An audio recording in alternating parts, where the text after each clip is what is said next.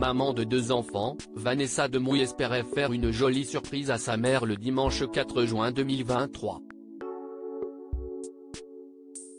Malheureusement, un contretemps a ruiné ses plans.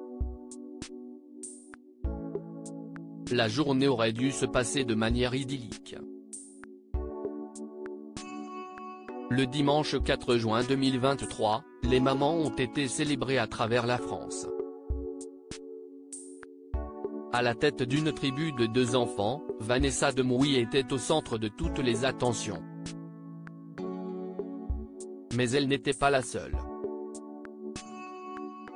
La comédienne, héroïne de la série Ici tout commence diffusée sur TF1, est également très proche de celle qui lui a donné la vie en 1973. Voilà pourquoi celle qui a soufflé ses 50 bougies au mois d'avril avait prévu de lui faire une petite surprise qui est tombée à l'eau. Vanessa Demouy avait tout organisé.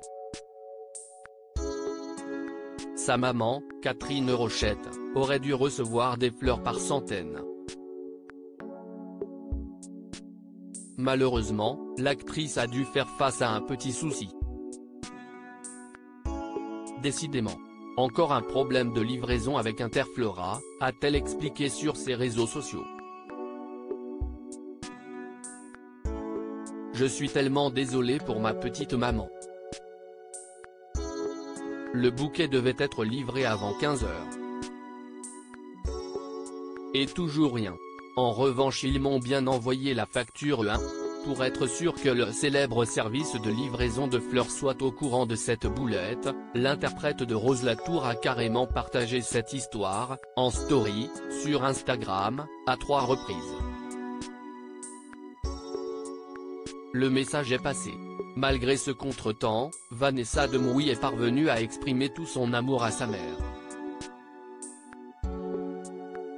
Elle a, d'ailleurs, publié en ligne une photo sur laquelle elles prennent la pose toutes les deux, complices. À toutes les mamans, écrit-elle. À celles qui vont le devenir, aux jeunes mamans, aux vieilles mamans, à celles qui ne le seront pas, à celles qui auraient tellement aimé l'être, aux mamans anges, aux mamans d'anges. Et tout particulièrement à la mienne, mon roc, ma force. Bonne fête. Le dimanche 4 juin 2023 était également sa journée. En couple avec Philippe Lelouch de 2001 à 2017, elle a, depuis, retrouvé l'amour, Vanessa Demouy a donné naissance à Solal, son aîné, le 17 mai 2003, puis à Charlie, sa petite sœur, en mai 2011.